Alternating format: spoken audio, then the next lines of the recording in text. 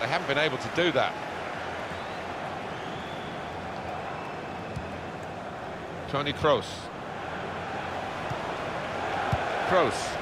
Good forward play from them. Cristiano Ronaldo. Ronaldo! Goal!